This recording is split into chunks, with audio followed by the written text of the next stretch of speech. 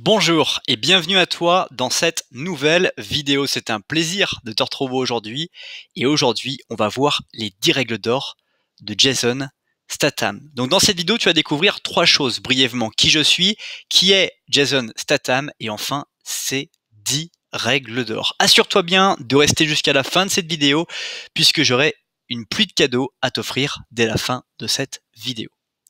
Alors qui je suis? Je m'appelle Auger Dolé, j'investis mon temps à produire des écrits, des audios et des vidéos pour impacter des millions de personnes, à trouver la confiance en eux dans leurs projets personnels et professionnels. Je t'invite dès maintenant à t'abonner à la chaîne YouTube pour ne pas rater les prochaines vidéos et redécouvrir les vidéos les plus populaires. Alors qui est Jason Statham? Il a pratiqué le kung-fu, le kickboxing et le karaté dans sa, jeunesse, alors qu'il travaillait dans des stands de marchés locaux. Passionné de plongée, il a été membre de la Brigade nationale de nation, natation britannique pendant 12 ans. Ses antécédents professionnels dans les étages de marché l'ont inspiré dans les films policiers de Guy Ritchie. Les succès commerciaux de ses premiers films l'amènent à jouer le rôle de Frank Martin dans la trilogie The Transporter.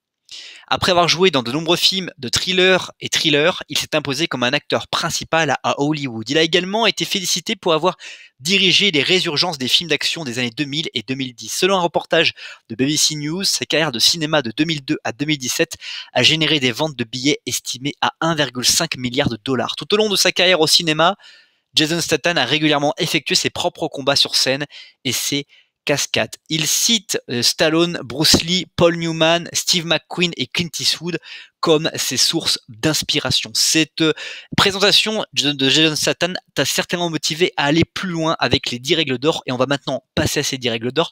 Mais juste avant cela, je t'invite à apprécier la vidéo ou à la partager dès maintenant, ceci afin de permettre à d'autres personnes de découvrir à leur tour cette vidéo.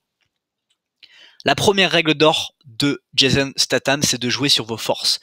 Jason Statham explique que les arts martiaux étaient pour lui quelque chose qu'il pratiquait depuis longtemps. Évidemment, dans les films qu'il pratique, il met en pratique ses, forces et ses euh, outils qu'il a appris dans ses pratiques. Qu'est-ce que tu peux apporter toi aujourd'hui dans les environnements dans lesquels tu te trouves avec les forces que tu as? Je te pose cette question. Deuxième règle d'or, poussez-vous.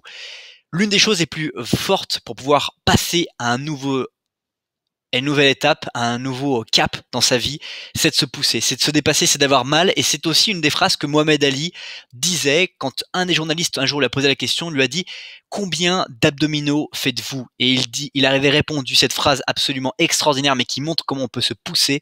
Cette phrase, je commence à compter le nombre d'abdos que lorsque ça commence à brûler.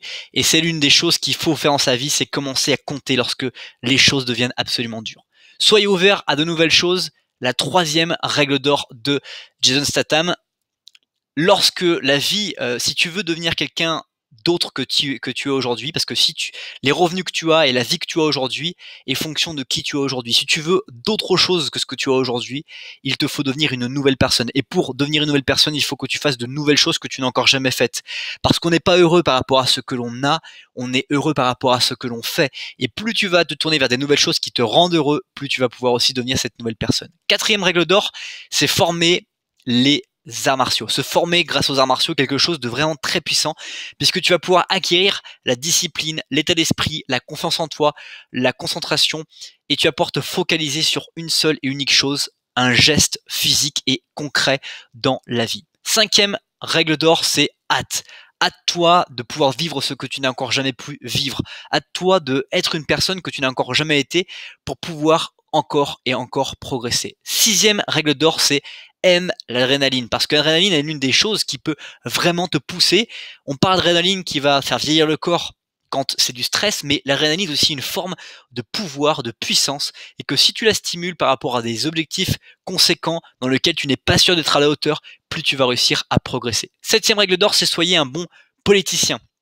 Apprends l'art de l'éloquence, apprends à parler, apprendre à prendre la parole face aux gens et apprends surtout à faire du politiquement correct, de montrer que tu es quelqu'un, un bon élément, quelqu'un sur qui on peut vraiment compter. Huitième règle d'or, c'est acquérir de l'expérience. Pour acquérir de l'expérience, encore une fois, une seule possibilité, agir, agir et agir et se poser la question sur comment on aurait pu mieux faire que ce que l'on a réalisé. Neuvième règle d'or, c'est travailler dans un environnement agréable. L'une des choses la plus agréables qu'on puisse avoir dans notre vie, c'est d'être dans des, environnements qui nous plaisent, des environnements dans lesquels on se sent vraiment aimé ou dans lesquels on sent qu'on est utile aux autres. Et je t'invite à te poser la question, quels sont aujourd'hui les environnements dans lesquels tu n'es pas utile aux autres et dans lesquels tu devrais absolument changer? Enfin, dernière règle d'or, c'est amusez-vous. Amusez-vous parce que la vie passe très vite et les dizaines d'années peuvent passer en un clin d'œil si et surtout si on n'a pas planifié et organisé les réflexions des choses que l'on voulait faire dans sa vie en fonction de son énergie, son âge et évidemment de ses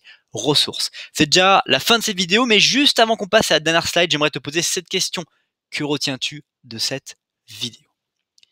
On est à la dernière slide. Si ce n'est pas encore fait, je t'invite à ajouter cette vidéo à tes playlists et, comme je te l'ai promis en début de cette vidéo, à découvrir dès maintenant dans la description une pluie de cadeaux pour aller beaucoup plus loin que cette simple vidéo. Passe une très bonne suite de journée et je te dis à bientôt pour une prochaine vidéo.